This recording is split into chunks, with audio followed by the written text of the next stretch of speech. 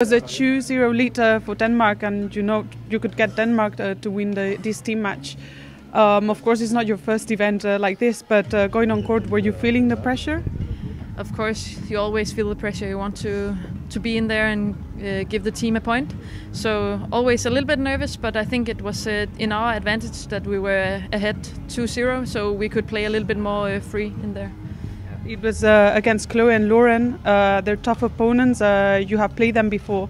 Was their performance uh, just what you expected from them?